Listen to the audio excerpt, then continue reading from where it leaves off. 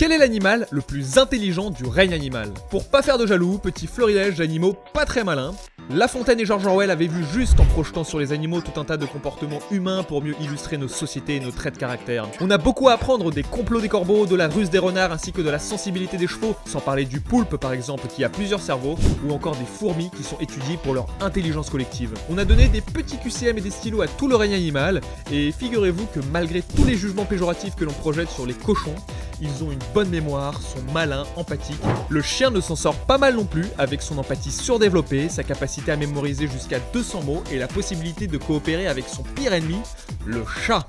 Hein? Non, ça c'est possible que dans les films. Et sur le haut du podium, les chimpanzés. Ils sont capables de manier des outils, se repérer dans l'espace, se soigner avec des plantes et même de communiquer de manière très sophistiquée au sein d'un groupe. Vous pensez que s'ils s'organisent, ils risquent de prendre le contrôle et nous domestiquer?